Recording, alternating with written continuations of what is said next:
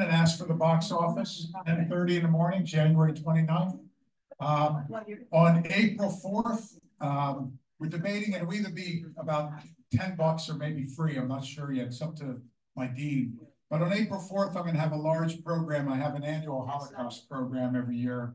We pick a different topic. I've covered White Rose, Kinder Kindertransport, Kristallnacht, uh, Nuremberg race laws of 1935, Nuremberg trials, list goes on. This year, we're going to talk about the spike in anti-Semitic hate today and uh, October 7th. I have uh, tentatively the head of the um, ADL, the head of the Southern Poverty Law Center, and the FBI field office chief from Florida uh, coming in, and we're going to go through what's happening. That'll be April 4th at Lynn. All you have to do in February is call the university, ask for the box office. I got it. There we go. Uh, I haven't finished locking everything down or getting the final price from my dean, but uh, by the end of the first week in February, we'll be ready to go. Okay? So those are two of the many programs we have coming up on campus. Of course, if anybody wants to go on a cruise, let me know. June is the 80th anniversary of D-Day. So I'm leading a tour and a cruise. We're starting in Bordeaux, going to Amsterdam and spending some time in Normandy at Honfleur and Cherbourg. Gone to uh, Omaha and Utah Beach, the American Cemetery, St. Mary Glace, Pointe du Hoc, uh, all those wonderful places in June uh, for the 80th anniversary. So uh, just holler at me if any about any of this stuff. Okay? You ready, boss? Okay. Tammy, thank you. Okay, so today uh, we're going to talk about the Manhattan Project. Um, this is a lecture that I put together, goodness, 25, 28 years ago. And I did it a handful of times and nobody ever wanted it. Um, so I shelved it and then the movie came out and now I've gotten a couple of requests. So I dusted it off and put a PowerPoint together. Um, so how many of you saw the movie about Oppenheimer? Everybody, right? Did you like it? Yeah. Me too, me too. I thought it was beautifully filmed. I thought it was powerful. Of course, it's a, um, a critical moment in world history that we don't spend enough time analyzing. Um, I thought the depiction of some of the scientists was great. There was only one glaring, horrific problem. The depiction of Harry Truman was pathetic, god awful, completely inaccurate. Um, I, I, I saw the movie, I guess, like three weeks into its run. I was busy. And probably 20 or 30 historians from around the country called me saying, Oh my God, I just saw Oppenheimer. You're going to be furious when you see Truman. And everybody was bitching about it. The depiction of Truman was horrendous. So Oppenheimer sees Truman in the movie, do you remember? And he's whining about, oh my gosh, what will history say about me, the bomb? And Truman says, you know, I'm the one they're going to remember for dropping the bomb. And then uh, he leaves, and Truman says he's a crybaby and shows him out, right? And Truman was aloof, kind of uh, a dandy, uh, right? which it was the polar opposite of Harry Truman. Truman did not say to Oppenheimer, "You're a crybaby," nor did he say it directly there. What happened was sometime later, Oppenheimer continues to complain and you know, oh my gosh, this and that, and what, what would the president say or do? And Truman is asked by his war secretary Stimson, what does he think about Oppenheimer? He says he's brilliant, but he's a crybaby. So they took that comment in private sometime later and moved it up into the. So it was taken a little out of context, but but anyway, I thought it was a fantastic film. It's always important to have this kind of conversation. So what we're going to do today is go through this, you know, thrilling narrative of how the bomb came to be. We'll look at the, um, uh, you know, by dropping the bomb, how many lives were saved, uh, what cities were on the target list, uh, the uranium-235 bomb, uh, Little Boy, and the plutonium bomb, uh, plutonium-239 Fat Man. Um, bombs were named, Little Boy was named for Truman, and Fat Man for Churchill. So, um, so we'll look at that. I'll also, as an historian, I'll try to explain nuclear fission. Um, so here's, I'll, I'll do like a little overview, then we'll dive into the weeds here. So basically in 1938, three of the world's leading physicists, all of them were Germans. Three German physicists came up with this idea that uranium uh, can produce an unbelievable energy source, okay? An unbelievable energy source. These German physicists would later be known as the Uranium Club. Uh, and they were three of the most award-winning celebrated physicists on Earth. And of course, the Nazis grabbed all of them. So the Nazis got off to a start ahead of the rest of the world. What they theorized was there's two types of uranium, 235 and 238. Uranium is a naturally occurring element. It's also one of the heaviest, strongest elements. But yet, ironically, if the neutron hits it in a certain way, it breaks apart. They theorized that when it breaks apart, that creates an unbelievable energy source, which we call fission. Got it? There's a couple problems. Number one, how do you break uranium apart? Number two, once you break it apart, one element, one neutron, uh, excuse me, one atom becomes two, becomes four, eight, 16, and just doubles. Uh, how do you stop it? That's called a chain reaction. If you can control it, it can be a hell of an energy source or something powerful, but how do you control it? Here's the other problem. It's uranium-235 that is the one that can be broken apart to, harness, not 238. Yet, 238 is very common, 235 is not common. One out of every 140 uranium atoms is 235. So how do you separate, how do you get enough uranium? I mean, the size of this clubhouse to, to dig out and get enough uranium-235.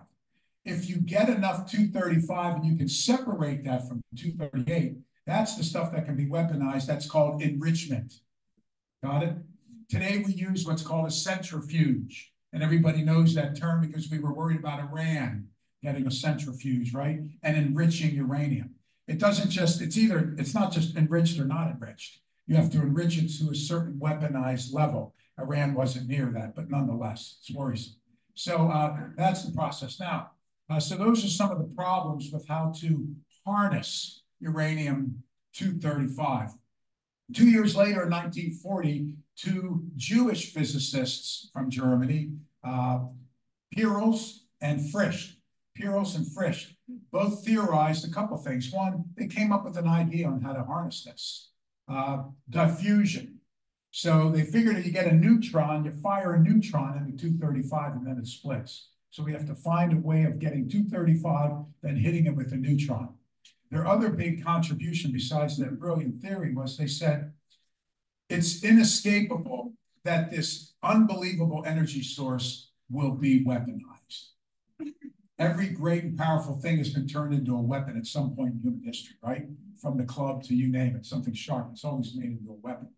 So Peierls and Frisch said, knowing the Nazis the way we did, they escaped Germany. They said it's inevitable that Hitler and the Nazis will find a way to weaponize this. So in 1940, they wrote what's known as the 1940 memo. They sent it to leaders throughout Britain and some of the Allied leaders saying the Nazis will weaponize this. They called it a super bomb. The world's never seen anything like it. I mean, we can't even calculate how much TNT or traditional explosives would be equivalent to this one super bomb. They theorized, Peierls and Frisch, and by the way, Peierls was so brilliant, he was taken under the wing of Enrico Fermi, the great Italian, one of the world's leading physicists on par with an Einstein. Uh, Frisch was taken under the wing of Niels Bohr, a man that even Einstein considered to be the better physicist. Niels Bohr from Copenhagen. So um, those two guys, Fermi and Bohr, uh, realized the talent of these two uh, younger Jewish physicists, and it was Niels Bohr who helped get them out of Germany. Uh, by the way, Niels Bohr would win the Nobel Prize, right, for his scientific work. He was also a handsome fellow, charismatic, and a goalie on their national soccer team. So he was a hero many ways through. You got to love the guy. He used his fame and money, put the money from his prize into getting German, excuse me, Jewish scientists out of Germany. He got them placed in the top academic institutions in Copenhagen, uh, Paris, and then later moved them all to England as the Nazis rolled over France, uh, Norway, the lowland countries, and so on. So he used his influence to get them placed at, you know, Manchester, Oxford, Cambridge, and things of that effect. At any rate, so um, the 1940 memo from Peierls and Frisch warned the British government that it's inescapable the Nazis will make this into a bomb. They theorize that this bomb is so powerful that no living structure, nothing we know of, concrete, a bunker, a mountain, nothing could withstand it. Therefore, there's no way to harden defenses. They said the only way to combat this is we need to produce a similar bomb. So they encouraged the British to undertake the effort to produce a similar bomb. They theorized what became known as MAD. Anybody heard of MAD or AD? Okay, it's our nuclear deterrence policy from the nuclear age all the way up until modern times. MAD stands for mutually assured destruction. AD stands for assured destruction deterrent. Got it? So here's what they said. If we don't have the bomb, Germany can use the bomb and there's nothing we can do. We can't stop it. The only way to stop them, if we have a bomb, they know that if they hit us, we'll hit them. And they know that the destruction will be so, you know, complete. In other words, assured destruction deterrent. We deter you because we will assure complete destruction. Now, this became the U.S., I guess basically the, the West's uh, nuclear deterrence policy. This is why, and you'll all probably find this maddening, no American president will say, I won't use the nuke. Because you can't say you won't use it, you have to say that you will use it. Um, and we keep building more and more nukes. We have enough to destroy the world several times over, right? It, it doesn't make sense. But um, we need, so our MAD policy in the United States, mutually assured destruction, was that if the Soviets launch first, one, we will launch back. You never say no, never say never. Two, we will have enough left that when we launch back, we will not only annihilate the Soviet Union, we will end life on Earth. That's the deterrence. Now, our nuclear deterrence, MAD, and AD, it was based on a three-legged stool, okay? Three-legged stool. Um, uh, one delivery system of this three-legged stool was uh, bombers.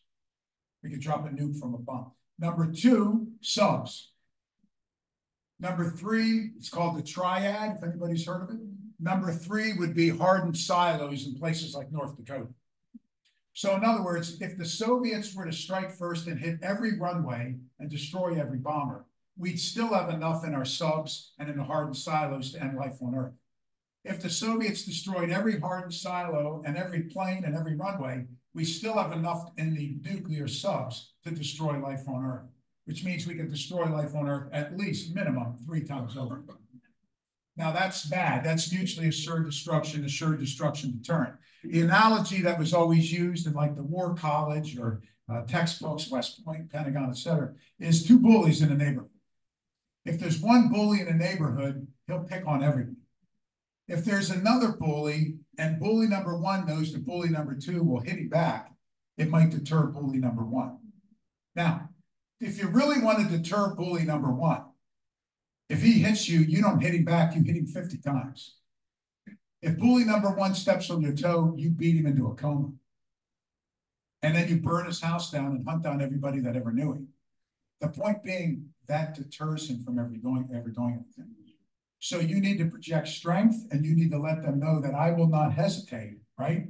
That's the that's the plan. If bully number one knows that you'll break both his arms and hunt his family down, then he won't mess with you, right?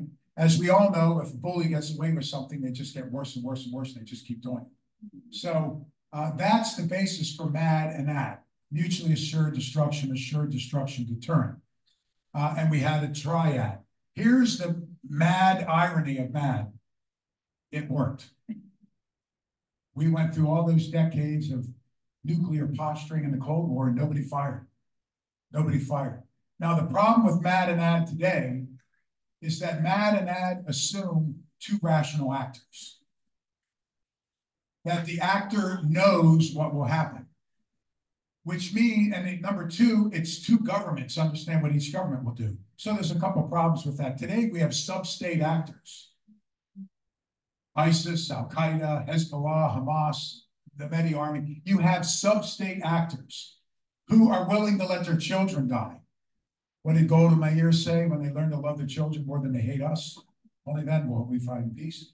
Uh, they want to meet virgins in heaven and blow themselves up. So if you're that stark raving Looney Tunes, the notion that you will be blown up or hit back does not deter you from acting. Relatedly, we've seen here in the US and all around the world stark raving lunatics elected to high office who are not rational, not realistic, not sane, and don't hire decent people. So MAD and AD are hanging by a thread. And the kicker is we have not come up with a viable nuclear deterrence alternative. So we still are using them, but it's antiquated. So that's what Peierls and Frisch postulated. Postulated. Now, they said that there's possibly two ways that you could weaponize this. In other words, extract the 235, right? Hit it with the neutron by breaking it apart, uh, fusion, right? Fission, and then enrich it. Um, one is what they call diffusion, uh, where you just extract it. Number two is heavy water. Those are the two theories.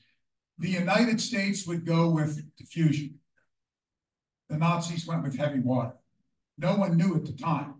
It turned out that heavy water doesn't work. Turns out that fission, diffusion does work. The difference in the United States, FDR hired the best of the best of the best, consulted with Enrico Fermi, Niels Bohr, hires Oppenheimer and others who said, here's what we think. In Nazi Germany, Hitler said, I know more than all my generals. And we're going to use heavy water.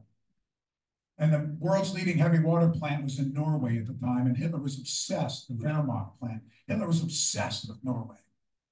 Obsessed with it. Because the Norwegians, he thought, were the perfect Aryans. They were the tall, lean, muscular, blonde, blue-eyed, Ubermensch, lords on earth, master superman. In other words, people that look just like Hitler. and Goebbels, and Hitler, and Speer, and Eichmann, and Bormann, and hell, the rest of them, right? Goring. Um, so he was obsessed with it. And the Norwegians were moving aggressively ahead with this heavy water experiment. And Norway also had some of the greatest scientists. The Germans were ahead of the world, but Norway not too far behind. So he went with heavy water, thank God. But no one knew at the time. It was a race, a mad race to get the bomb, right? So uh, with that said, let's slow it down and we'll go through step by step and look at all this. Salute. Um, so at the end of World War II, it's total war, everybody. It's total war. So um, we need to remember Europe was in complete ruins as was parts of North Africa, parts of Manchuria and China, Japan, Micronesia, Melanesia, Polynesia, Chuuk, Kosrae, Guam, Yap, Papua New Guinea. I mean, the world was in ruins, right? Um, wow. World War II is the world's worst war. Sometimes when people say, why did we drop the bomb? You have to remind them that at least six zero, 60 million people died. 60 million. What wouldn't you do to end the world's worst nightmare? Coinciding with World War II was the Holocaust, the world's worst case of genocide. Hitler was hell bent on global conquest and annihilating entire groups of people. What wouldn't you do, right? And the Japanese too. There were some parallels between the Japanese and the Nazis. They both were obsessed with racial superiority. The Nazis believed that there were two racial groups, the master race and the mud race. The master race were Germanics and Scandinavians, Aryans. The mud race were Southern Europeans, Africans, folks in the Middle East, the New World, Asians, and Jews. Everybody else was the mud race. The master race was known as civilization builders. The mud race known as civilization destroyers. Every great civilization was built by, now, the kick, you know, by Aryans. Uh, in schools in the 1930s, I have a different lecture where I look at what Hitler required as teaching in the schools, what books were read, what books were banned. Remember, dictators always ban books. Um, so, uh, although not as many as Florida, but um, um, yeah, Diary of Anne Frank, The Kill a Mockingbird, Kurt Vonnegut's Slaughterhouse Five, J.D. Salinger's Catcher in the Rye, Alice Walker's Color Purple. Yeah uh, Animal Farm. Yeah, it's amazing. So I require these books in my classes. So um, anyway, yeah, we have a quiz on Animal Farm on Monday. So uh, anyway, to the students too. So um, at any rate, um, so what Hitler ordered taught in schools was that it was a group of German engineers and, and, and architects 4,000 years ago that went to Egypt and built the pyramids. This is what they taught in German schools. Uh, also taught that it was a group of German philosophers that 2,000, couple hundred years ago, they went to Athens and taught Socrates. Um, some generals went to Rome 2,000 years ago, built the Colosseum, the uh, Circus Maximus, and trained the centurions. My favorite from German schools in the 30s was that um, there was a German carpenter named Joseph who went to the Middle East and met a Middle Eastern teenager named Mary, and they had a German baby. Jesus Helmut Gunther Schmidt, you know. They taught this stuff. Now, here's the kicker. If you could take a time machine, and go back to Germany in 1932, Hitler rises to power January 33. What you find is German scientific, cultural, and academic institutions were the envy of the planet. The Germans were among the best read, best traveled. Hitler comes to power and in no time at all gets them to believe up and down, good is bad, and complete fooey nonsense. How can that happen? Moreover, Hitler was not a tall, dashing war hero and charismatic, you know, humanitarian. Hitler was a compulsive liar, a narcissist, a failure in business, a, a, weird dude a weird hairdo, uh, who was a corporal in World War One, corporal and a mediocre artist. And the people followed him into committing the world's most heinous crimes and suspending rationality and science and everything else. From that to that. But you know, the same thing happened in Italy with Mussolini, who was also a lying, narcissistic failure and an oddball. Same thing happened in Spain with Franco, lying, narcissistic father. Same thing happened in Japan with Tojo. Same thing happened in Portugal with Salazar. The same thing has happened throughout history. It happens everywhere all the time. Um, now, Japan also believed in racial superiority. The irony of Japanese culture is it's a lot younger than Chinese or Korean. And the writing, the Buddhist and Shinto beliefs, a lot of the cultural practices all came over basically from China and Korea. But Japan used to teach that it was in Japan and they stole the Japanese. You can teach right is wrong and just invert everything. And in Japan, and in Germany, they taught that other racial groups, and ironically, Japan considered the Chinese and Koreans not only a different racial group, but almost a different species. The Nazis considered non-Aryans almost a different species. They got that from Martin Luther, who in the year 1545 wrote a book, The Jews and Their Lies, where he said, Jews are a different species. They don't have souls. There's no kingdom of heaven. Uh, therefore, they're not human. Um, wow. Bad science is not benign. You can get people to believe all kinds of shit, right? So, um, so the Japanese and Germans both had this crazy racial belief. They also were hell bent on conquest. Japan believed that once upon a time, all of Asia had been a Japanese empire. The answer, nope. Uh, the first people to come to Japan, maybe only 35,000 years ago, right? And there was not a great Japanese empire. Hitler taught that there was once a continental-wide European empire run by Germans. He talked about the Third Reich. Yes, the Third Reich will be the thousand-year Reich, the thousand-year reign. It only lasted 12 years, thank God. Um, the Second Reich was the 1870s when the modern state of Germany was created. That was the Second Reich. What was the First Reich? Hitler ordered taught in schools that during medieval times there was a continental-wide great German empire, led by the great German emperor Charlemagne. He was French. French.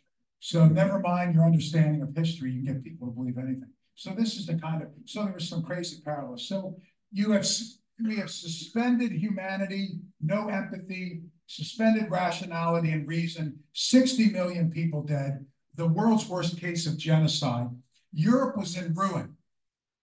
Now remember, virtually every major city was bombed, right? Which means open sewage systems were festering, which means none of the fields were planted. You're not growing tomatoes or corn in the middle of the war. Uh, animal husbandry, the farm animals are dead, which means there's no food for the end of the war. Um, there's also no medicine, no nothing, no coal, no heating oil. But how do you get the coal, heating oil, medicine, and food to Europe? The ships are sunk, the ports are blown up, the planes are blown up and the airports are destroyed. The bridges, trucks, trains, train tracks, and roads are all destroyed. So the world was facing the dark ages. Truman said that we could have like a biblical apocalypse where hundreds of thousands, at least, people die across Europe because there's no food, no medicine, no clothing, and that first winter's coming. In other words, we don't need a one or two year long bloody protracted war in Japan. Also, let us remember what the Japanese were doing. They were hell bent on conquering the entirety of Asia and the Pacific. Brutally. The rape of Nanking, anybody? At least 200,000 Chinese, Manchurians, right, killed. Um, and raped, not twice or three times, but raped hundreds of times by hundreds of soldiers and then beheaded. Um, the Japanese had a game they played throughout the Pacific. They would get babies and throw them in the air and catch them on their swords. They also piled up children, stripped them, lit, put fuel on them, and lit them on fire alive. I mean, this was madness. Let us remember Iwo Jima, an insignificant volcanic rock, and we bomb it by air and sea for days, and we send the Marines in. In fact, some of the estimates were there would be no resistance. Who could survive that bombing? The Japanese inflicted 26,000 casualties on our best soldiers for an insignificant volcanic piece of rock. Truman said, imagine what they're going to do when we invade the fatherland. This is going to be an, a bloodbath. The Japanese weren't going to surrender. There's a revisionist history right now, in fact, even in Japan, where they're saying, oh, we were trying to surrender. Truman was a warmonger. We were trying to surrender. The answer, God, no. In fact, um, it's declassified now. You can read it. Uh, I've read it. It's in the Truman Presidential Library, the National Archives, Archives, and the Library of Congress. It might even be in Mar-a-Lago. So uh, it's, no, that, it's declassified. It won't be there. Declassified. Uh, so it's declassified. It's true. That's declassified. Here's what it said. We cracked the Japanese code.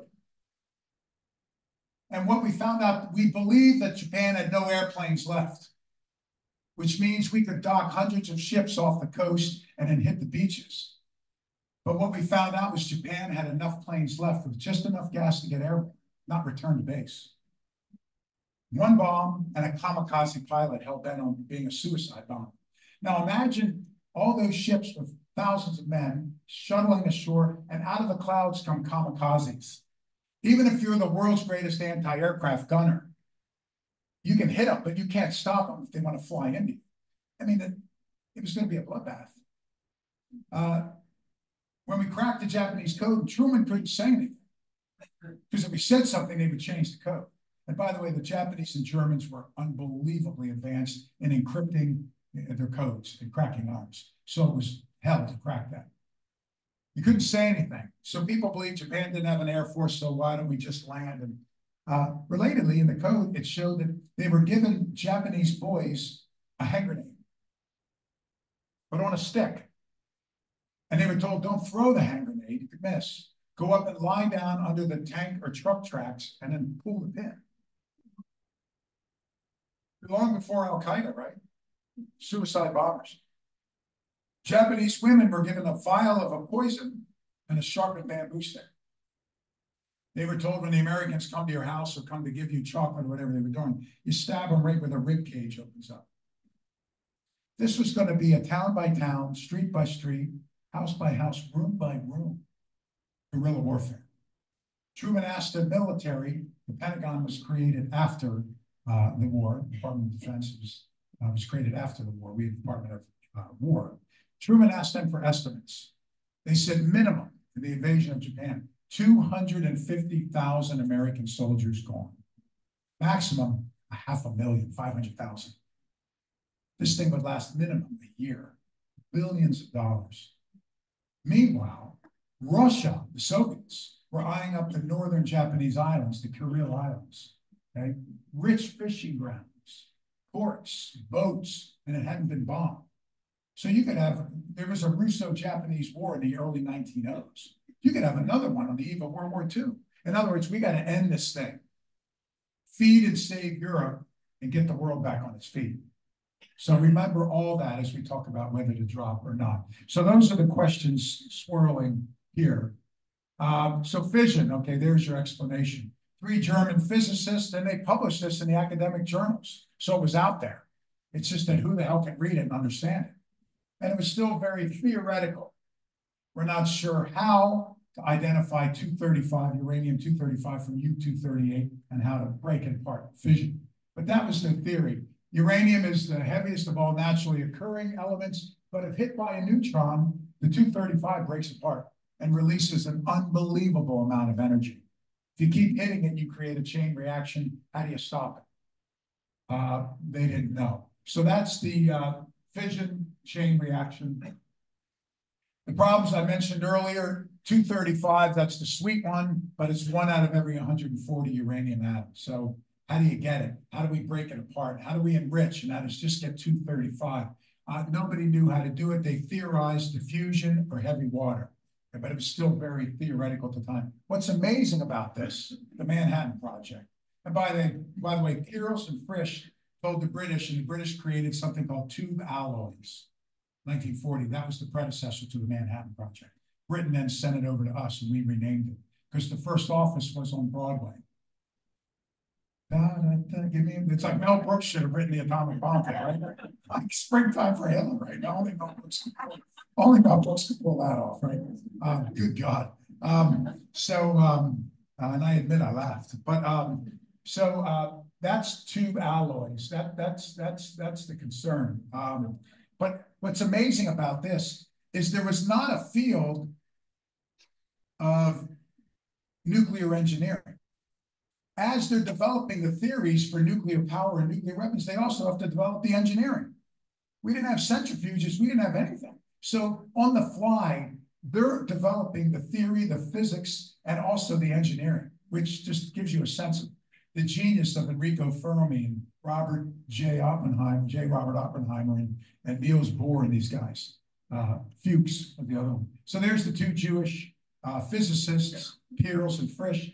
Uh, Peierls, was grabbed up by Enrico Fermi, and Niels Bohr grabbed uh, Frisch. This is how sharp these guys were. Uh, they were at the top of their class, of course, top professors and researchers and scientists. There's a brief bio. Frisch studied at Vienna, uh, Peierls at the University of Berlin. He was a professor at Munich and Leipzig. Uh, I uh, went to the University of Copenhagen, University of London. I studied there, Birmingham, etc. So just uh, remarkable uh, stuff. So these guys are on the cutting edge. Thank God Niels Bohr's got him out of Germany. One thing to think about is the talent among German engineers and scientists and physicists. Um, at the end of the war, Operation Paperclip. Harry Truman authorized basically a snatch and grab. We're going to grab these uh, uh, German physicists and engineers and bring them to the US. It was very controversial because a lot of them were given a nice lab and told to do research. Wernher von Braun, he put us on the moon essentially and developed our rocket systems, right? Uh, but I support Truman's operation. Because if we didn't grab them, who was going to grab them? Yeah, Soviets, yeah. And then they would have beat us to the moon. They would have beat us to the atomic front. They would have beat us in science. They would have beat us in, and it's hard to even put a price tag on what was developed through this. So this is, but fortunately, um, Niels Bohr got a lot of the great Jewish scientists out of Germany uh, to help us. Um, Peierls and Frisch. So this was their argument. Uh, it's irresistible. The Germans will develop a super bomb, and the only defense is if we develop ours because of MAD and AD, right? Mutually assured destruction, assured destruction deterrent, which was our nuclear policy uh, on the triad, right? Everybody's heard of this? Yeah? Okay. All right. Tube alloys. That's Enrico Fermi, uh, and he came on board to help us with the theoretical aspect of what was happening. There was a young German student named Klaus Fuchs, uh, who was um, even Oppenheimer and Fermi said he's frighteningly intelligent. And he was the one coming up with a lot of the ideas on diffusion, on using a neutron to break it apart. How do we separate U-235 from 238? So they brought him in and they gave him unfettered access to everything. After the war, we found out he was spying for the Soviets. Yeah, he didn't spy for the Germans, thank God. But he was sending everything to the Soviets. And he helped them play catch up. He was later captured and imprisoned for several years after the war by the British. Then he was released from prison. He went to East Germany and became a professor and a researcher and lived comfortably. I think they should have put him away for life. Or I'm against the death penalty, with the exception of treason. Uh, if you're threatening, and this threatened the global order, if it's treason, no, God, you have the death penalty. Other than that, I oppose it in all cases. Um, so there's two approaches I told you about uh, diffusion and heavy water. So here's the theory that Peierls and Frisch came up with. So uranium-235 is a little lighter than 238. So you put it in this chamber, the uranium atoms, right? You turn it, uh, Peierls and Frisch came up with this idea, let's turn it into a gas. So don't even ask me how you turn an atom into a gas. I, I don't understand. I, uh, Mexican food, know, I don't know. how this works. I don't know how this works. So you turn it into a gas. Okay, this is why I'm an historian. Okay, I got A's in everything except chemistry and physics, and so much. Um, so you turn it into a gas. U-235 is lighter, so it rises up. You have a cylinder that presses air through this. It will push the uranium out through that cylinder. There you have like a net mesh, a mesh netting rather. And the U-235, the gases will be pushed out, you capture them. After this diffusion process, what do you have? Just 235. Now you get rid of the 238. That's called enrichment. So I, I don't understand any, don't ask me to explain anything beyond that. Uh, now, Enrico Fermi and Niels Bohr were asked, okay, is this going to work? And they said, you know what, this will work. But here's the problem. You're going to need thousands of scientists, multi-million, I mean, hundreds of millions of dollars in labs. You're going to need supplies of uranium the size of this building. It's going to be a monstrous undertaking. And they said Britain can't pull it off. They don't have the budget, the labs, the number of scientists. Only the US can. So Enrico Fermi and Niels Bohr told the US, you need to move. We all know about Einstein's memo to FDR. Everybody, right? Where Einstein told FDR the Nazis are ahead of us and they could develop an atomic weapon. Therefore, we need to do. And coming from Einstein, that's that's pretty strong of an argument. But also Enrico Fermi and Bohr said the same thing. So they were all putting a full court press on FDR. And he agreed and Britain agreed, and they transferred everything from tube alloys to us, and we set up an office in Broadway and created the Manhattan Project. Only the U.S. could pull this off. Um, you know, I worry about this today because we've lost our industrial base, our manufacturing base. We don't have science. STEM, science, technology, engineering, and math. Go to a good graduate school anywhere in the U.S. and find me an American student. And I'm not an American first guy.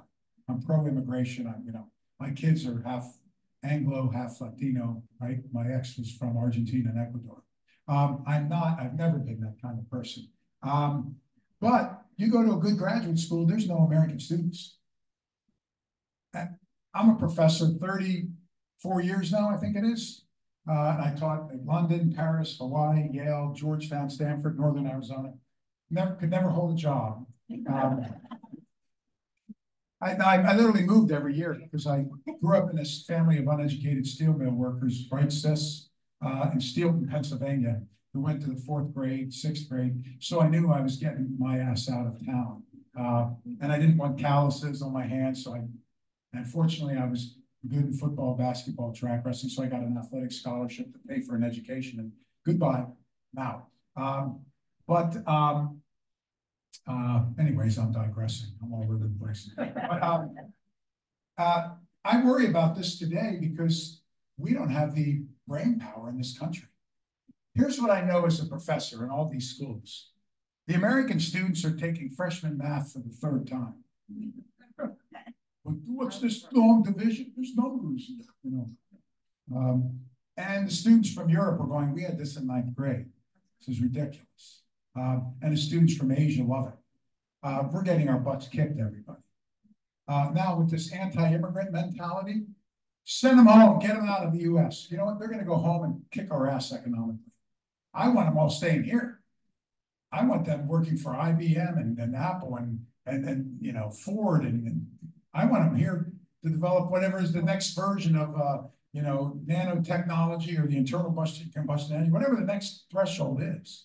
Uh, so I don't know that we could do this today, right?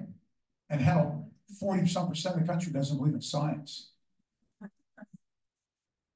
wish they'd stop using their television since it's science. Don't drive a car then. Join the Amish. Um, heavy water. Don't ask me to explain this either. Um, So you take H2O, right, uh, and you turn, you change it through deuterium oxide, and it's a heavy water, and that water can act as a facilitating agent to produce this fission process uh, with uranium. That's the theory. Uh, and the Germans bought into this, Hitler pushed them, and the Norwegians were working on it. And the Vemork plant uh, in the middle of nowhere in Norway was the world's leading producer of heavy water.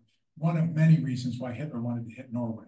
Plus, he, as I told you, he fascinated with the Aryans of Norway.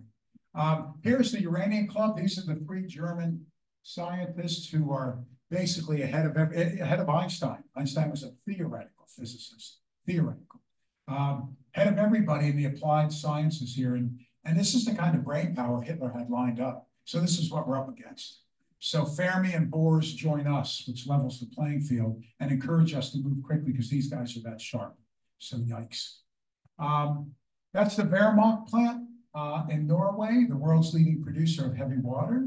So um, um, um the Nazis want to take the plant.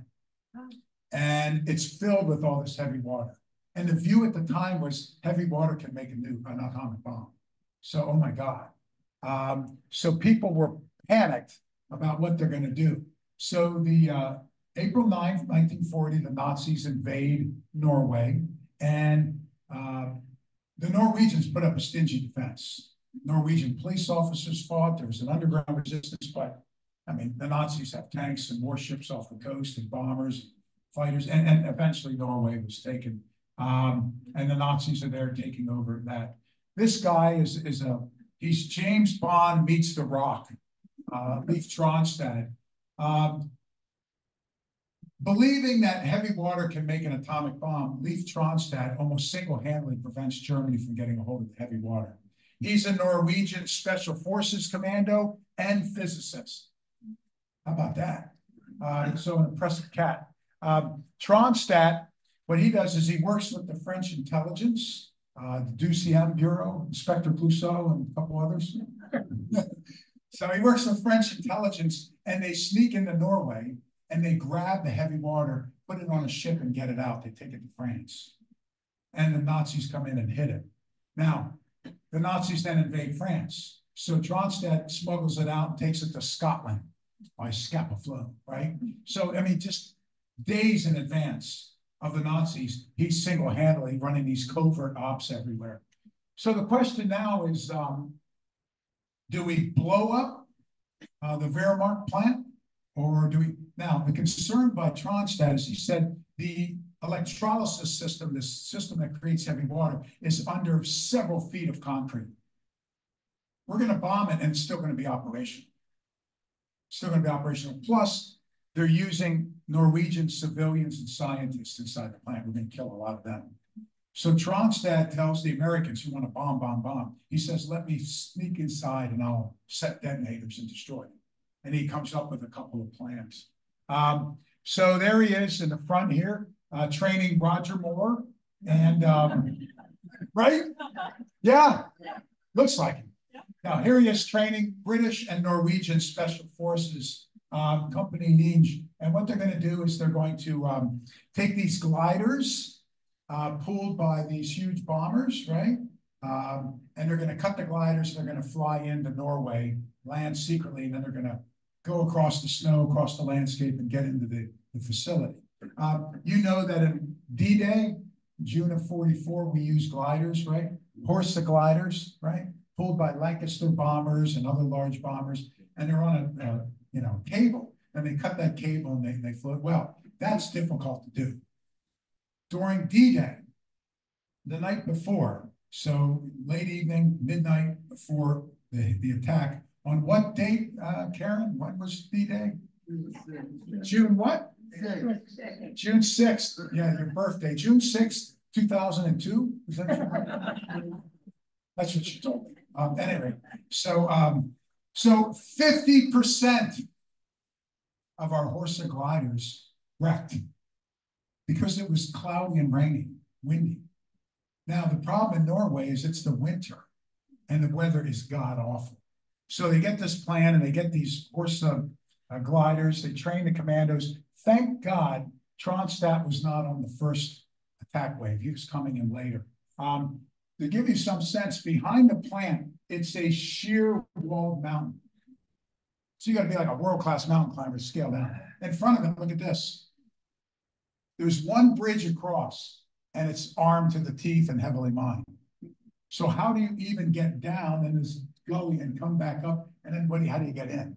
So it's impregnable kind of a thing.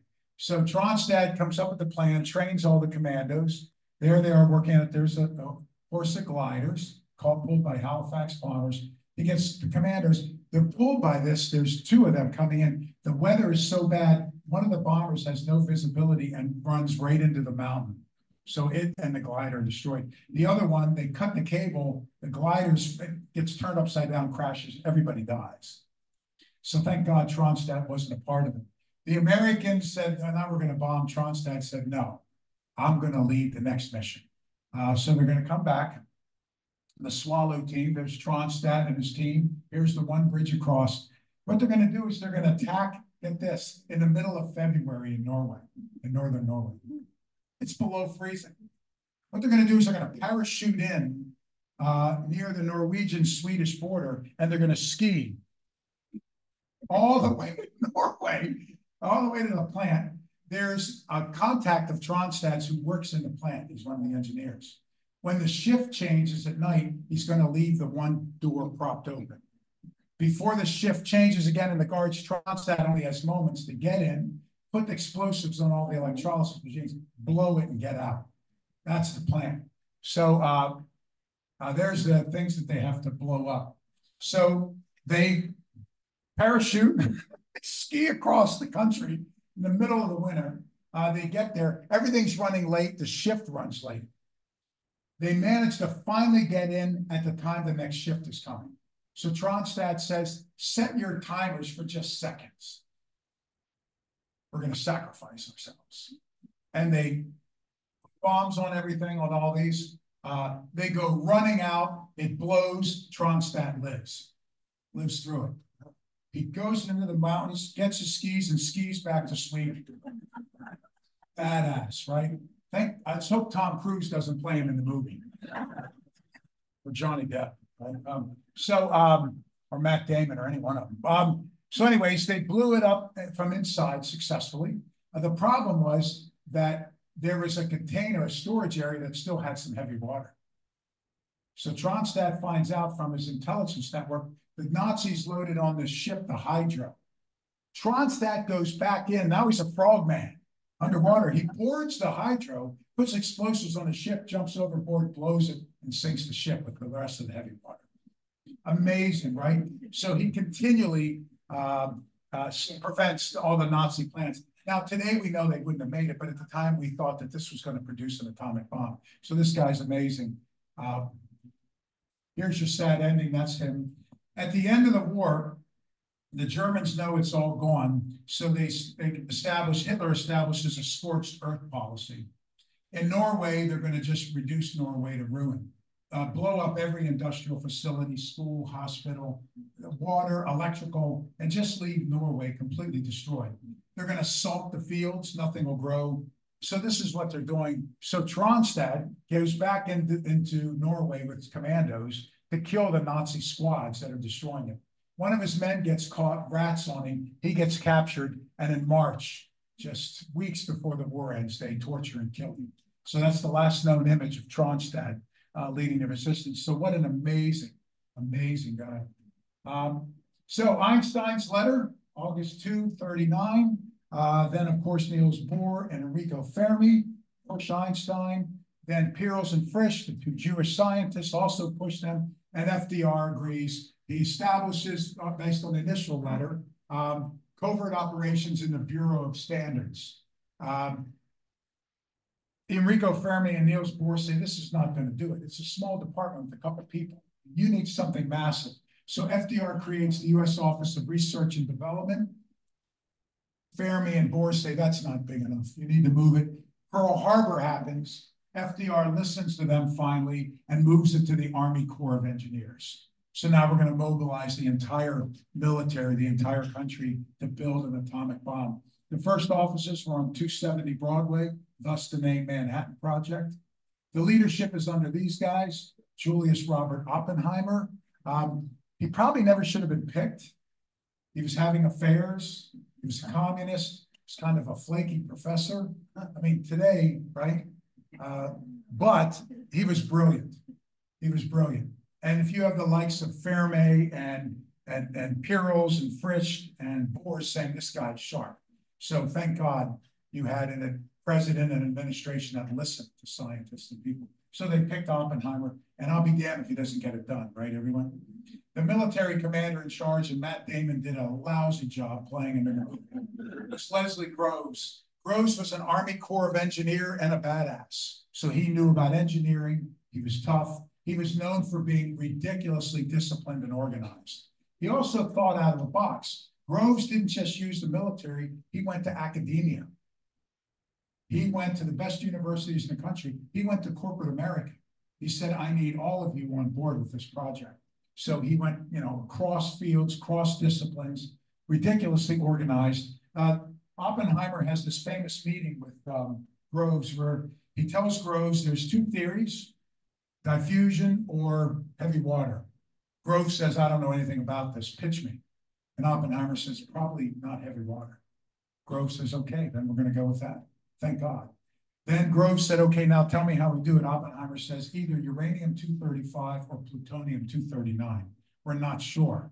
So Groves says, well, then we're going to produce bombs with each of those as a backup plan. So the first bomb we dropped, little man on Hiroshima, was U-235. Because we felt better about that. We figured that would work. Plutonium, we had no idea. So we saved that for Nagasaki for the second bomb three days later. So Groves was brilliant in his leadership. He was tough. He was disciplined. I thought Matt Damon was too soft and aloof, um, quite frankly. Um, uh, top secret facilities. Groves ordered that three massive facilities be built. Los Alamos in New Mexico, Oak Ridge in Tennessee, and Hanford in Washington. Um, the 235 is from Oak Ridge. Uh, Washington is where they make the plutonium, okay? So all that. The Manhattan Project by 1942 had a staff of 130,000 people. Amazing, right? Here's the kicker. The average age of the scientist was 28. About half of them were PhD students. Right? I mean, crazy, right? But what they did is if Fermi and Bohr and Oppenheimer are there, the rest of the best of the best are going to want to go work on it. Um, so uh, that average age is just remarkable. You all heard of Ben Ferencz? He was the last living prosecutor at Nuremberg, right? Uh, he lived at Kings Point, Delray, and just died last spring, right? So uh, anybody get to hear Ben or, yeah, okay, it's great. I got to interview him. He was amazing. Ben was like, what, 4'10", about 70 pounds. And he was sharp as a tack at 102. He was funny. He was an amazing guy. At any rate, he told me something pretty amazing. His first job out of law school, the Nuremberg trials. He was in his mid 20s. And guess what he was assigned? There were 13 Nuremberg trials. There was the main trial where we had 20 plus senior Nazis. Then after that, we had 12 subsequent tribunals. The British were broke, the French, de Gaulle refused to cooperate, Stalin left. So the 12 subsequent were just run by us. And one of them was we, we, we tried um, uh, Nazi doctors, one Nazi judges, one Nazi professors, journalists, uh, Nazi industrialists. We tried all these different groups. Um, they tried I.G. Farben, for example, right? Who used Holocaust labor and, and manufactured Zyklon B, right? Um, but one of the most dicey trials where they had two dozen members of the Einsatzgruppe. These are the Nazi death squads.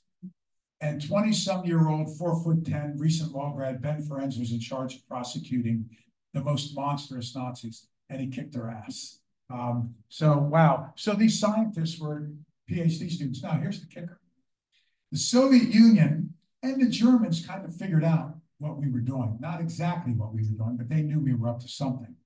Why? Because all of a sudden, through the 1940s, Oppenheimer stops publishing. Niels Bohr stops publishing. Enrico Fermi stops publishing. Klaus Fuchs stops publishing. You get the point? I mean, you know, if uh, Doris Kearns Goodwin and and and and Jon Meacham, and, and if, if all of a sudden nobody writes books, something's going on, right? So none of these guys were publishing, so they figured they were all together working on something. The details, however, they didn't know. The Soviets had more information because Klaus Fuchs was leaking it uh, to them. The Nazis, though, not. So, anyways, no scholarly articles for this couple year period, right? And academia is what? Publish or perish, right, everybody?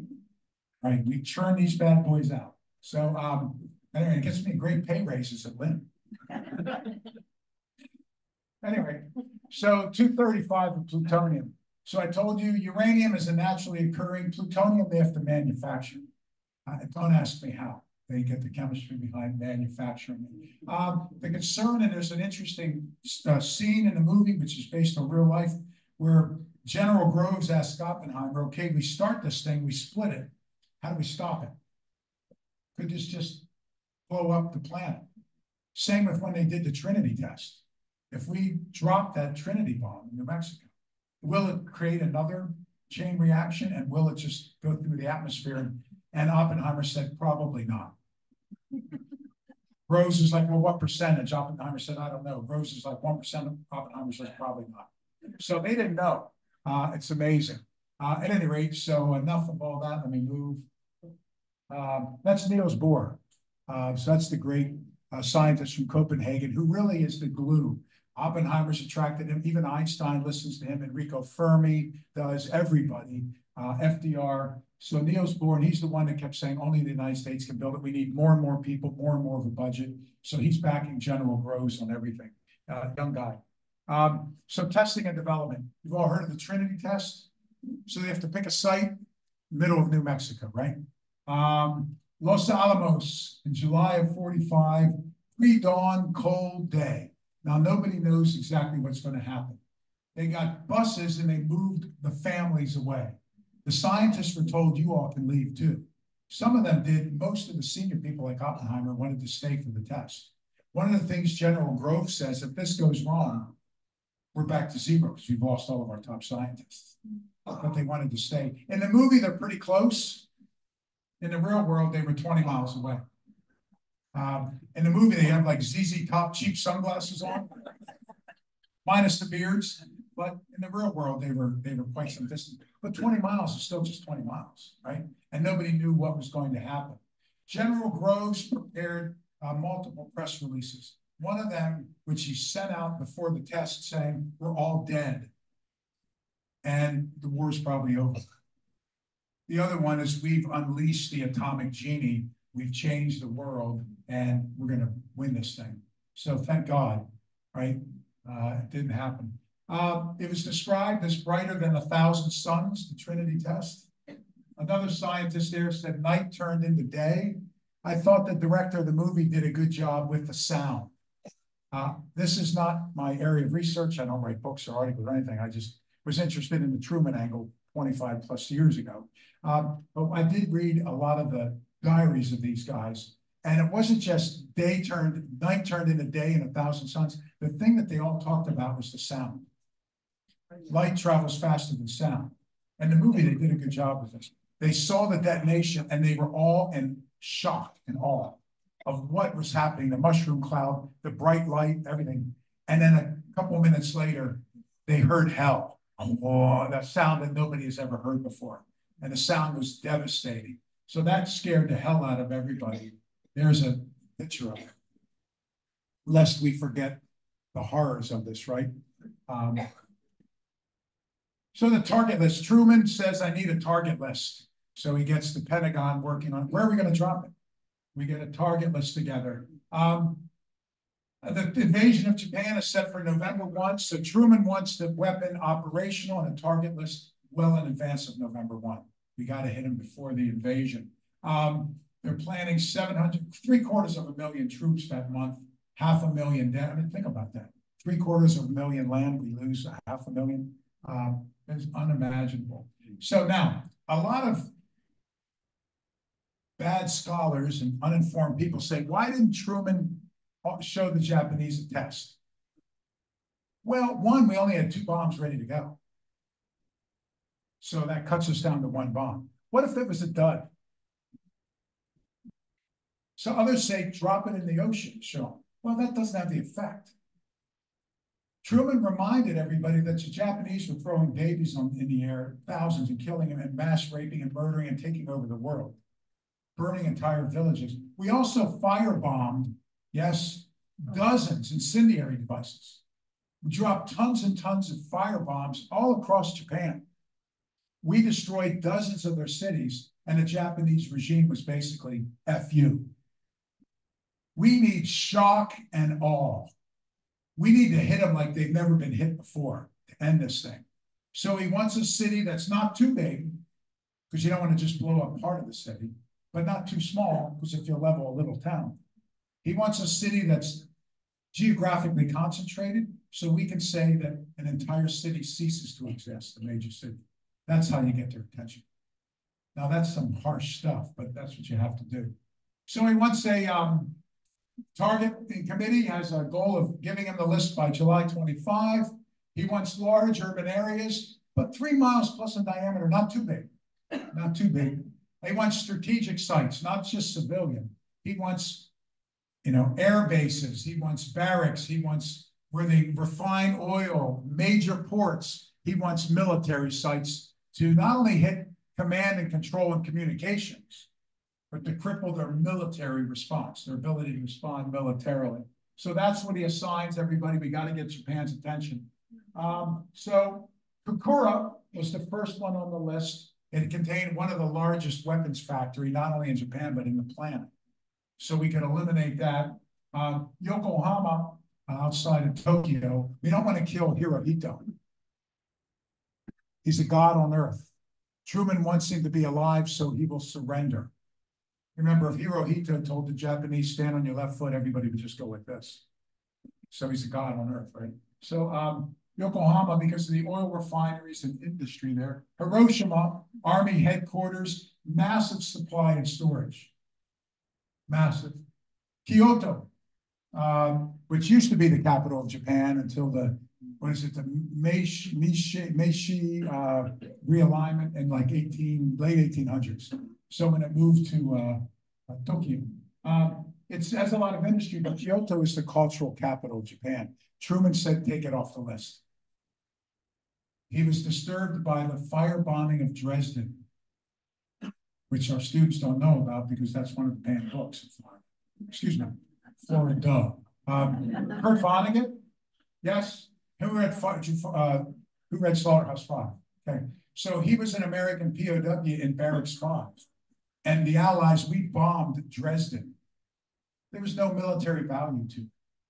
We lost medieval architecture and killed a lot of our own guys. So Churchill was so shocked by it. Why have we reduced ourselves to acting like the Nazis or the Japanese? and destroying cultural sites without a military value. And then we stopped firebombing or targeting cultural sites. So Truman said Kyoto is the cultural capital of all of Japan. Art museums, etc., gardens, Shinto shrines. So leave it. Tough decision, but leave it. Um, they uh, replace it with Nagasaki, and Niigata was the backup.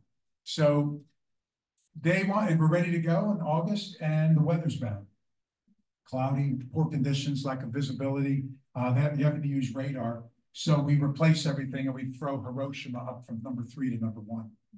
Uh, three days later, we go in uh, and, and it's Nagasaki. Because the weather's bad. We almost didn't hit Nagasaki. They were flying around it as late as 11 o'clock in the morning. And the clouds were so bad, they couldn't see. Then all of a sudden, the clouds dissipate and we go in and drop the second bomb, which was the Bockscar, right? You all know the Enola Gay B-29, the Bockscar was the second one that dropped. Um, so the deployment, a bizarre story that probably you know about. The ship that took the bombs to Tinian Island was the USS Indianapolis, one of the history's most ill-fated, horrific ships. It drops the bombs off at Tinian Island where they're assembled just days before deployment. The USS Indianapolis turns and starts heading back. It's hit by a sub. It's sunk and the men are floating in the water for days, and thousands of sharks are attracted. And every hour, the men are eaten by sharks. We lose most of the men on the ship by being eaten by sharks on the. So just the tragedy of this case. So um, So Hiroshima was a uranium bomb that was little boy, U-235, everybody. Uh, a gun-type fusion bomb. Uh, was dropped on August 6th. Captain Paul Tibbets in the Enola Gay, which was a B-29 Superfortress. Uh, yeah, yeah, you could put two of them in this room. So they're big but not giant. Okay, they're big but not giant. Um, a 30,000 foot high mushroom cloud 140,000 people dead in the time it takes me to put my fingers instantly. Another 140,000 uh, injured from this. Uh, Truman gives the Japanese three days. Why?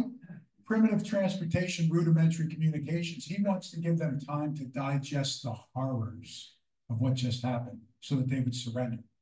Um, a lot of you know I'm a Harry Truman fan. Okay, everybody knows I'm a Harry Truman fan.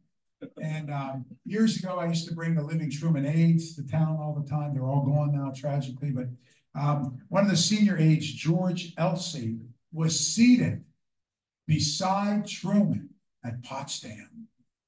And he's the one that gave Truman the intel report, and Truman said, hit him.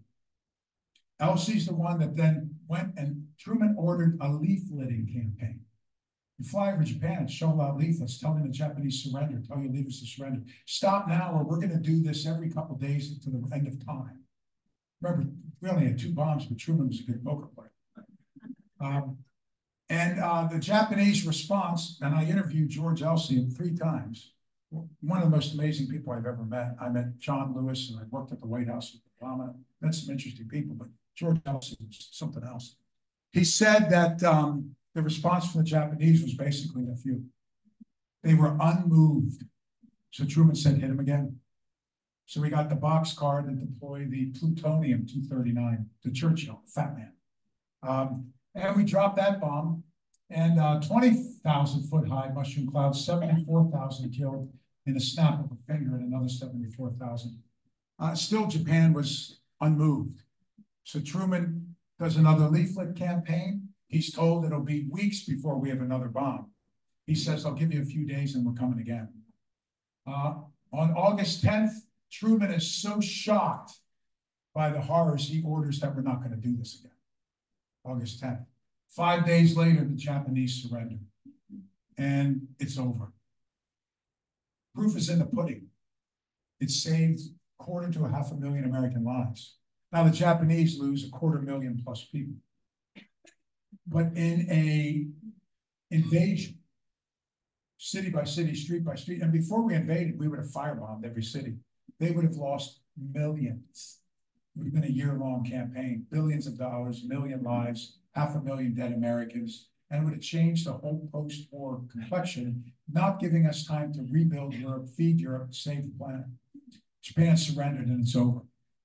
Truman moves heaven and earth to rebuild Europe before the Marshall Plan which comes in three years later. Before it, we start rebuilding the ports, sending over um, food, medicine, flour, heating oil, coal, everything that everyone needs. So it worked. It worked. Uh, there's the image of uh, Hiroshima, of a uh, little boy. Uh, lest we forget the horrors. That's what it looked like after the bomb. That's Paul Tibbets you know, the guy. one can only imagine the nightmares that he, Truman, and others had, right, uh, from this. Oppenheimer. Um, so they picked the right guy. Um, Oppenheimer goes on to lead the Institute for Advanced Study at Princeton. Uh, um, Einstein's there. The Institute's still around. It's considered one of the world's foremost think tanks. Storied career. Um, then he's appointed chair of the U.S. Atomic Energy Commission to help draft post-war atomic energy policy. But then Joe McCarthy, uh, a guy named Richard Nixon, and um, Republicans, let's be honest, um, let's be factual, drag him before the Congress. Um, HUAC, House Un-American Affairs Committee, commie committees, red hunting, red baiting, and destroy Oppenheimer's career and reputation, uh, attacking, despite the service he rendered to the country. And I thought the movie did a good job of revealing how horrible that was and how his career was destroyed. It took years for um, his reputation to be uh, renewed. He uh, lost his national security clearance. Uh, he was called a communist, lost his job, basically lost everything. Only a little over a year ago, Biden posthumously overturned this and reinstituted his national security um, clearance, just posthumously to respect him for what he did. I mean, I can't believe it took that long, quite frankly. Can't believe it took that long. Um, he did lobby for nuclear non-proliferation, which I think is the right thing to do. But Oppenheimer was a little naive and idealistic. Um, Truman wanted nuclear non-proliferation, but he was more realistic about it. You know, um, I convened a national Harry Truman conference for 19 years. We were supposed to do it for 20, and then uh, something called COVID hit. Um, so we did 19 years. And um, at the end of every conference, and we had John Lewis was there, George Elsey, I just told you about, George McGovern, Brent Scowcroft, the Republican National Security Advisor, Truman's grandson, Clifton. We had, I mean, just, it was a wonderful event every year. And after our three days, like the 10 VIPs, we'd all sit around with me, they would sit around a table and we'd play the Watson Q&A. I'd throw out all sorts of questions about Truman. Would he have done this or done that? One year we spent about two hours, lots of um, uh, Mexican food, and debated um, would Truman have allowed the St. Louis safe harbor? And I, everybody had to go around and debate and argue the whole night, and it was unanimous. Everybody said yes. And then we asked about what other presidents would have had the courage to drop the bomb. And we all agreed Ike would have, but it was hard to come up with agreement on many others, except if you're just a dumbass and you say drop it without thinking it through. Remember those that served in uniform, the George Washingtons, the Grants, the Ikes, they had a very mature attitude towards war. Remember the old Robert E. Lee notion? It's good that war is hell, lest we grow too fond of it, right? Um, so um, Truman dropped it. Um, uh, even though he wanted nuclear non-proliferation. Uh, Oppenheimer's career was ruined. Uh, thank goodness for the movie. There's Harry. Um, Operation Paperclip. He gets heat for that. We snatch uh, Nazi scientists. Now, it's really, really difficult to think that Nazi scientists got a cush lab and a salary and got to just play with whatever weapons they were making. But we won. Uh, it allowed us to move ahead um, he reformed the U.S. military. Truman created the Department of Defense. He created the Pentagon, the Department of the Air Force, the Joint Chiefs of Staff, the National Security Council, and completely streamlined the military. So we'll be better ready for the next war. Uh, remember Japan, he said, killed at least 6 million Chinese, Indonesians, Koreans, Filipinos. Japan was not innocent. They started it. The invasion of China and Manchuria in the 30s. Pearl Harbor, they started it with us, right? Uh, lest we forget all that. Japan lost two and a half billion of its own people and were unmoved. Uh, we're talking about a couple small islands. Um, most Japanese were killed during the air raids. More Japanese were killed in the air raids than in dropping the two bombs. Yes. Um, a lot of people argue, well, the only reason we dropped the bomb was to justify the costs. Um, General Groves later said something like, if the country found out how much we spent and we didn't use it, I would have been dragged before Congress and removed from office. So Groves was conscious of it. Truman didn't drop it because of the costs. He didn't drop it to send a message to Uncle Joe Stalin. Truman dropped it to end the world's worst war and the world's worst case of genocide. Get it over. Um, but why the second bomb? Some people say we shouldn't have dropped the second bomb the three days after the first bomb, the Japanese were completely unmoved. Hirohito and Tojo were not going to change. So he hit him again. And you know what? It worked. So if we had to do it twice, we had to do it twice. 67 cities were destroyed in incendiary firebombing, and Japan was unmoved. Um, the population was starving. The war was unwinnable. They were fanatical. Um, so we need to remember uh, all this. Um, most veterans favored dropping the bomb. Uh, so I'm a Truman fan, and I have the great honor and privilege of serving on the Truman Foundation Board. And every year I go to the Truman Library and do research and give a lecture. And I remember my very first one, I think it was 98, okay? Um, I went there and I was so excited. Um, and we had about 400 people in the auditorium, and my topic was the bomb. And I was going to read all the Truman letters and for the audience. And there were probably 20, 25 World War II veterans in the audience, and they all had the hats on. And um, as I was finishing the lecture, one by one, they stood up and they said, I was on a ship headed to Japan. And my commanding officer said, Your assignment is to go write a letter to your mom because you're not going to see her again. Another one stood up and said, Our commanding officer said, Look to your left and look to your right. At least one, maybe two of you three guys aren't coming back. Go put your affairs in order. And every one of them said that. Then they started saying, You know, my children wouldn't be alive today. But Truman dropped the bomb and we're alive. So when you think of it that way, and I remember trying to hold back tears while we were doing all that, the whole audience was. And I also remember thinking, thank God I advocated dropping the bomb, you know, because wow, that was powerful to listen to those guys talk about. They wouldn't be here today. Um, 153 leading scientists signed a petition to Truman to stop the uh, uh, the bombing. Today, if you go uh, to uh, Hiroshima and Nagasaki, there's a peace park. Anybody been there? Um, we're going back in mid-March. I'm leading a cruise and a tour of World War II. Theme one, we're going to Nagasaki, Hiroshima, Kyoto, uh, Nagura. We're going all over. Um, so um, at any rate, uh, George Elsey, the one I told you was seated beside Truman, he also told me that after the war, if Truman didn't drop the bomb, he would have been impeached. Because the country would have said, we just buried a half a million men and spent a year dying over there, and you had something to prevent a loss of lives. How many Americans died in dropping the two bombs? Zero. So, uh, you know, if you look at it that way, uh, we've the world has pursued nuclear non-proliferation. Almost every country in the world. Israel doesn't talk about it. They never talk about whether they have one or not and don't sign the treaties. Um, you know, North Korea, Pakistan, uh, the usual suspects. Um, the United States is no longer a signatory member of the nuclear non-proliferation. The previous president pulled us out of it.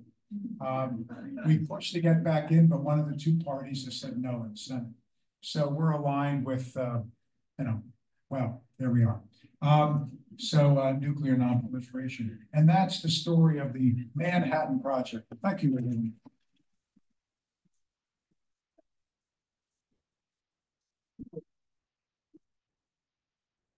Questions, comments? Have at me. What do you want to talk about? Sir? Um,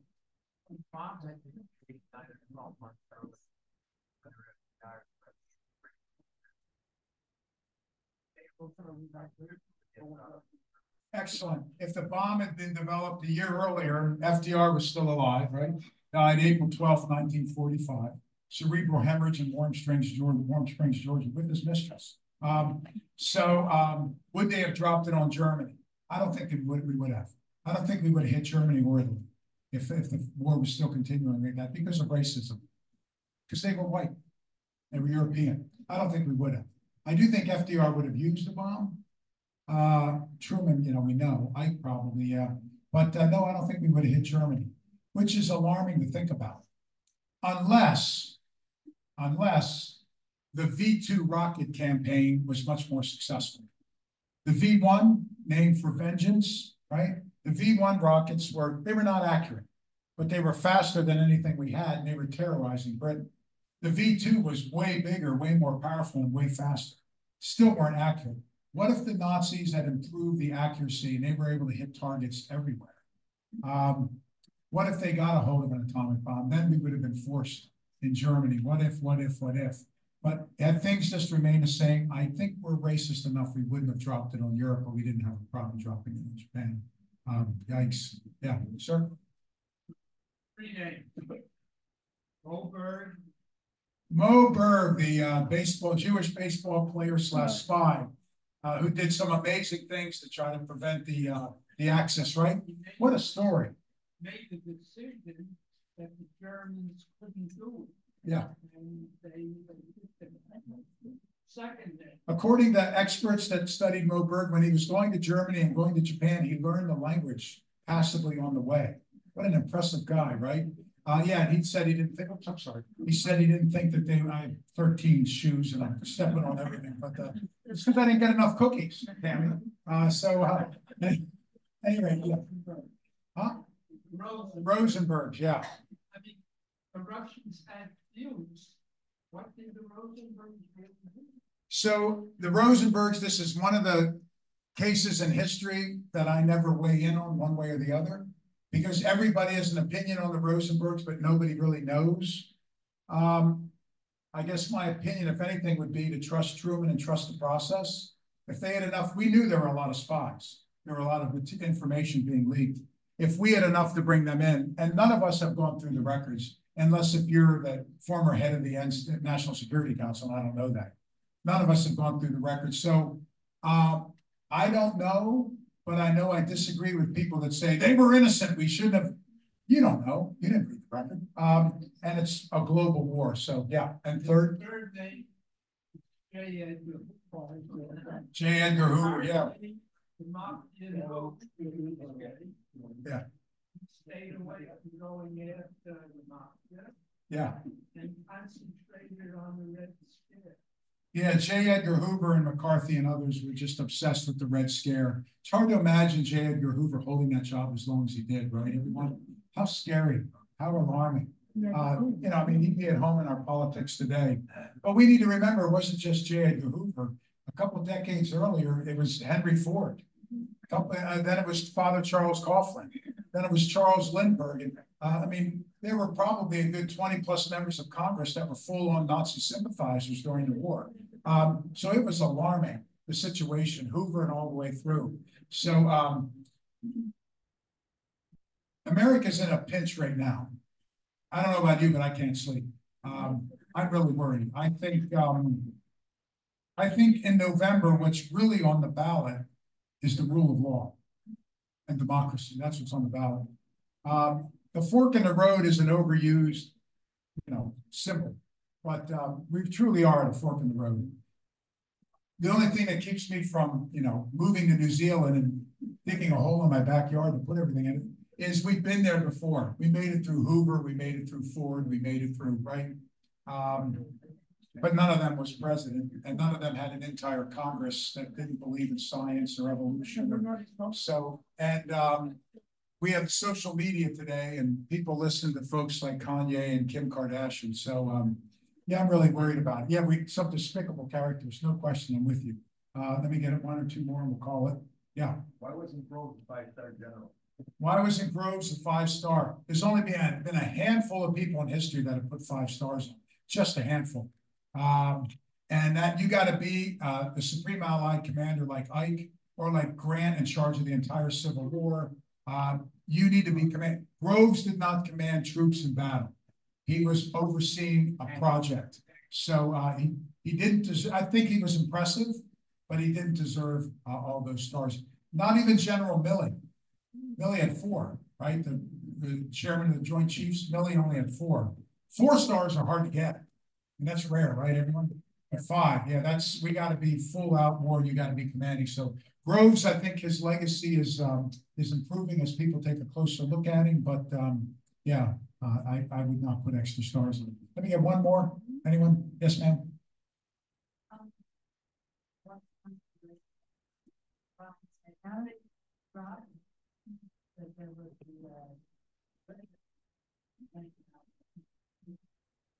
If the bombs had not been dropped, it would have been a bloodbath. No question. Uh, as I said, it's not a theory, everyone. The Japanese code was cracked, and you can read it. You can apply for a Freedom of Information Act request in the 1974 rule, or you can be a scholar, or you can have contacts with the National Archives. I sat in the basement and read these things years ago. Uh, it's there. We cracked the code. We know that Japan was planning on a bloodbath, a street by street suicide bombers, kamikaze pilots. Japan was going to go down swinging. There was also a plot by a group of like arch nationalists, like major colonel rank mid-level officers to possibly capture Hirohito to prevent him from surrendering. That's not a conspiracy. We cracked the code and there was chatter. How serious was the plan? Don't know. But there was chatter to keep him from surrendering. They were going to go down, last man, woman, right? in, Iwo Jima, didn't people jump off cliffs rather than Harikari, right? Um, we, Okinawa, we, we were telling them, um, uh, we were telling them with Japanese interpreters, we have flamethrowers, you know, if you come out now, you'll live, if not, and they, they took the flamethrower. 10 years after the war ended, We found half-naked Japanese soldiers running around Guam and Kosrae and Pohnpei, stealing chickens with a gun, one bullet left, still wanting to fight. Um, they were fanatical. This thing would have been an unimaginable bloodbath. As we all know, as Israel knows now, as we all know, any urban warfare is just, um, armies aren't built for urban warfare. Uh, it's difficult. So, uh, when you look at all that together, um, I am uh, completely behind dropping both bombs. I think it, it, it, it